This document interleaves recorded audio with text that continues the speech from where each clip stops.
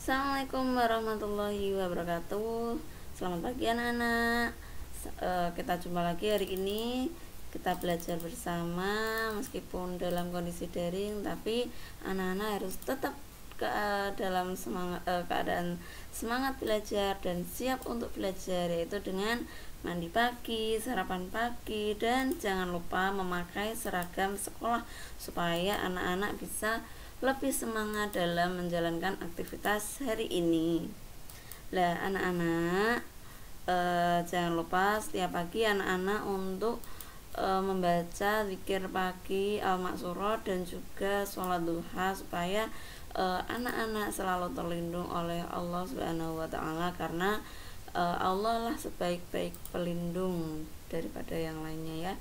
Anak-anak hari ini kita akan masuk ke tema 1 subtema 1 pada pembelajaran kelima uh, yang berisi muatan IPA, Bahasa Indonesia, dan SPDP. Yang pertama kita pelajari adalah penggolongan hewan. Jadi hewan itu terbagi menjadi dua kelompok apa saja yaitu vertebrata dan invertebrata. Ah, apa sih hewan vertebrata itu? Nah, sekarang kita lihat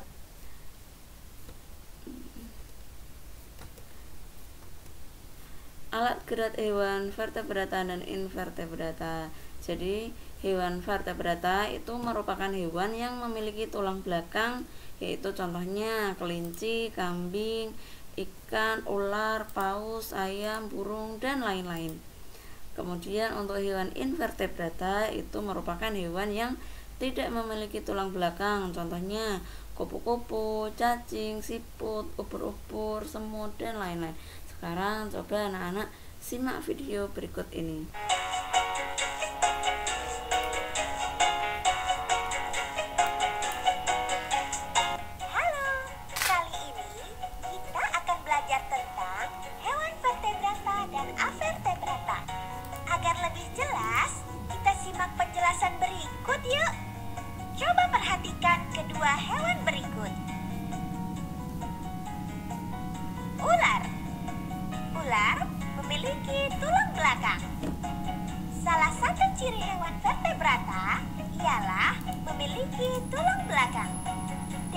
Demikian, ular termasuk hewan vertebrata.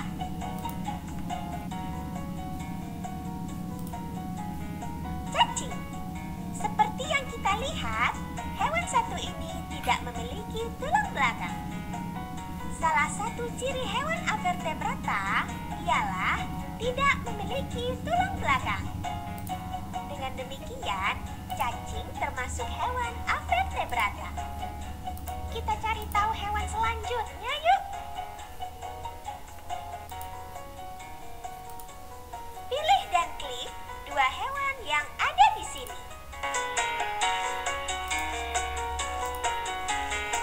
Coba perhatikan, lumba-lumba memiliki tulang belakang. Maka, lumba-lumba termasuk jenis hewan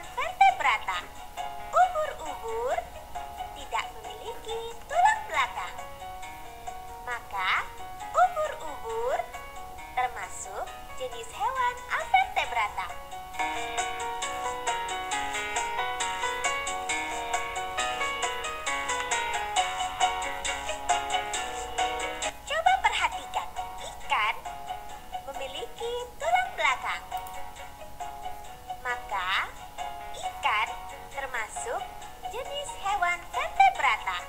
Cumi-cumi tidak memiliki tulang belakang. Maka, cumi-cumi termasuk jenis hewan avertebrata.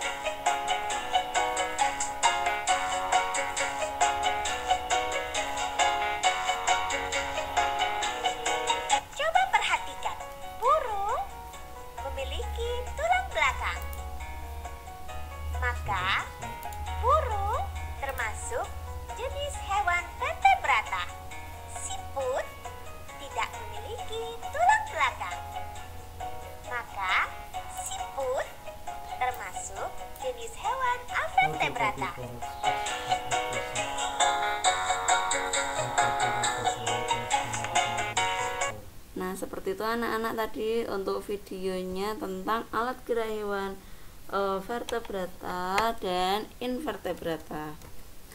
Berikut tentang contoh-contohnya juga ya kalau e, tadi hewan vertebrata itu dia memiliki tulang belakang sedangkan kalau invertebrata dia tidak memiliki tulang belakang.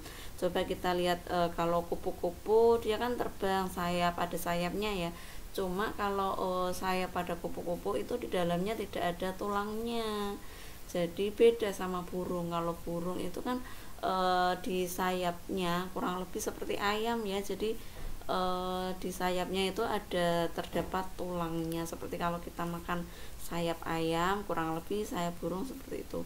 Kemudian cacing juga merupakan e, binatang lunak yang dia tidak memiliki tulang belakang untuk siput. Kalau kita melihat siput itu e, dia memiliki cangkang cangkangnya itu e, tidak dinamakan sebagai tulang belakang hanya dia sebagai pelindung tubuhnya karena siput itu merupakan hewan lunak jadi harus ada pelindung tubuhnya. Begitu juga dengan udang. Udang itu di dalam tubuhnya tidak ada tulangnya. Pernah makan udang kupas kan ya? Kalau udang kupas itu kan e, hanya ada cangkang di luarnya seperti siput. Ubur-ubur juga seperti itu. Jadi ubur-ubur juga tidak ada tulang belakangnya dan begitu juga dengan semut. Nah seperti itu anak-anak untuk materi hewan vertebrata dan invertebrata. Kemudian selanjutnya kita akan belajar tentang e, mengingat kembali tentang ide pokok jadi ide pokok itu adalah sebuah ide atau gagasan yang menjadi pokok pengembangan paragraf Kemudian ide pokok ini biasanya terdapat dalam kalimat utama. Nama lain dari ide pokok itu adalah gagasan utama dan juga gagasan pokok. Biasanya dalam satu paragraf hanya ada satu ide pokok. Hanya hal untuk sekarang ini kita akan belajar tentang bagaimana sih cara mengembangkan ide pokok. Dan ada beberapa langkah yang perlu kita ikuti untuk mengembangkan ide pokok mengembangkan ide pokok itu beda ya dengan mencari atau menentukan ide pokok jadi kebalikannya kalau misalkan e, mencari atau menentukan ide pokok kita harus baca teksnya terlebih dahulu namun untuk mengembangkan ide pokok langkah-langkahnya adalah yang pertama kita membuat sebuah kalimat dari ide pokok tersebut yang nantinya akan menjadi kalimat utama langkah kedua mengembangkan kalimat utama menjadi beberapa kalimat. Yang ketiga, menulis beberapa kalimat yang menjadi informasi tambahan untuk mendukung kalimat utama yang telah dibuat. Berikutnya, menyusun kalimat utama dan kalimat penjelasannya tersebut menjadi sebuah paragraf. Kita simak contoh berikut ini. Jadi, Mbak ini punya sebuah ide pokok, yaitu ide pokoknya adalah penyebab masalah banjir di ibu kota. Kita lihat dari judulnya penyebab masalah banjir di ibu kota. Jadi ini akan menimbulkan pertanyaan ya, apa sih penyebab masalah banjir di ibu kota? Jadi ini bisa uh, kita kembangkan kalimatnya menjadi seperti ini. Ini enggak apa ya, enggak harus ya ini fleksibel ya, uh, sesuai dengan apa namanya pendapat kalian sendiri Banjir sudah menjadi hal yang biasa di kota Jakarta, itu kalimat tambahnya. Hal tersebut disebabkan oleh banyak faktor. Nah, ini penyebabnya nanti ada banyak faktor ternyata. Jadi e, untuk yang pertama ini adalah kalimat utamanya tidak harus sama persis dengan ide pokoknya hanya kita perlu mengembangkannya jadi penyebab lah di sini disebabkan oleh banyak faktor seperti itu apa saja nanti faktornya? Yang pertama ini adalah penjabaran dari kalimat utama tadi. Pertama yaitu sungai atau saluran tidak berfungsi. Dua pendangkalan sungai dan sulitnya proses normalisasi sungai. Tiga kurang pedulinya warga. Dan yang terakhir pembangunan pembangunan gedung jalan yang membuat tanah susah menyerap air. Jadi eh, ka, eh, satu ide pokok tadi bisa dikembangkan menjadi sebuah paragraf. Jadi itu namanya mengembangkan ide pokok menjadi sebuah paragraf. Intinya adalah kurang lebih seperti e, mengarang ya. Hanya saja kalau ini adalah mengarangnya itu sesuai dengan e, apa kenyataannya di kehidupan sehari-hari itu seperti apa sih? Seperti itu kurang lebih ya jadi anak-anak nanti belajar untuk mengembangkan ide pokok sendiri di rumah. Kalau e, apa namanya kalau ada yang ingin ditanyakan bisa tanya ke Bu ini atau bisa e, pada ayah atau bunda. Sekarang berikutnya kita belajar tentang jenis-jenis gambar ilustrasi. Setelah anak-anak kemarin sudah mencoba untuk membuat gambar cerita selanjutnya kita akan e, mengenal jenis-jenisnya itu apa saja sih jenis-jenis gambar ilustrasi. Jenis-jenis gambar ilustrasi apa saja? Yang pertama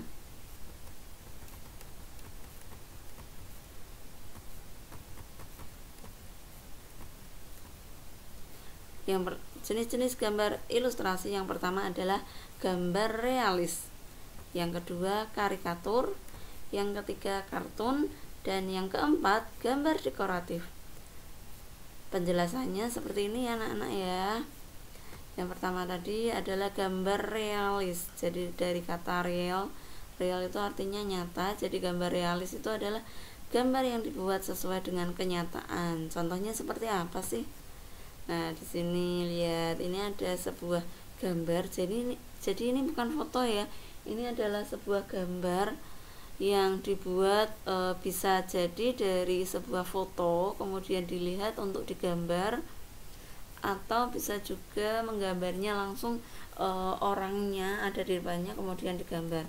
Berikutnya, nah ini ada gambar pisang. Jadi ini seolah-olah gambarnya itu hampir sama seperti aslinya ya nah begitu juga dengan gambar ini ini adalah beberapa contoh gambar realis untuk selanjutnya adalah gambar karikatur. Gambar karikatur itu gambar yang dilebih-lebihkan supaya terlihat unik dan lucu. Contohnya seperti ini. Nah ini ada gambar siapa ya? Tokoh siapa ya? Ada yang kenal? Ya betul. Ini adalah uh, Pak Karno yaitu presiden pertama di Indonesia. Nah, kenapa sih kepalanya terlihat lebih besar? Nah, inilah yang disebut gambar karikatur. Gambarnya itu dilebih-lebihkan supaya terlihat unik dan lucu.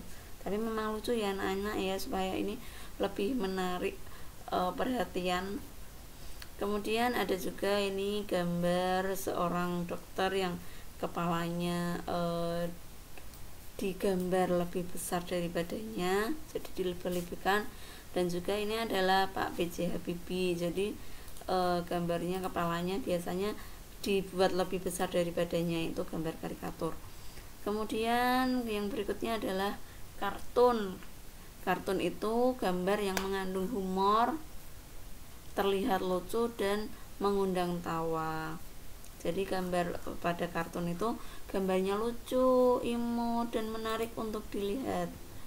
Terus ini ada beberapa contoh gambar kartun. Lucu-lucu ya Nana. Jadi biasanya gambar kartun itu di, e, cenderung disukai oleh anak-anak. Kemudian berikutnya ada gambar dekoratif. Gambar dekoratif itu gambar yang dibuat dengan tujuan menggambar bentuk benda supaya lebih indah. Contohnya ini. Ini hanya gambar e, gambar geometris dari persegi lingkaran persegi segitiga yang digabung-gabung. Tapi di sini gambarnya terlihat sangat menarik inilah yang namanya gambar dekoratif. Nah ini juga ini bisa dipakai untuk e, hiasan dinding. Simple sederhana tapi sangat menarik untuk uh, apa dekorasi ruangan ya. Ini juga bentuk gajah bentuk gajah tapi uh, didesain digambar diwarnai sedemikian rupa sehingga gajahnya terlihat lebih menarik. Perpaduan antar uh, beberapa bentuk. Ini juga ada gambar kucing gambar kucing yang digabung dengan macam-macam. Ada bunga ada uh, polkadot dan warna-warna yang lainnya. Tapi ini uh, terlihat nampak jelas bahwa itu uh, adalah gambar kucing. Jadi bagus sekali ya menarik sekali ya. Jadi gambar bentuk benda yaitu kucing gajah pohon itu dibuat menjadi lebih indah seperti itu anak-anak coba anak-anak nanti uh, mengisi form Google Form untuk melatih pemahaman kalian. Apabila ada kesulitan boleh lihat buku nggak apa-apa. Yang penting anak-anak bisa paham materi yang kita pelajari hari ini. Ya cukup sekian dari Bu Aini dan Bu Aini ucapkan terima kasih ya untuk anak-anak yang sudah menonton video ini. Semoga anak-anak eh, apa eh, bisa sedikit lebih paham selain membaca buku. Jangan lupa eh, anak-anak juga melihat video ini. Dan wassalamualaikum warahmatullahi wabarakatuh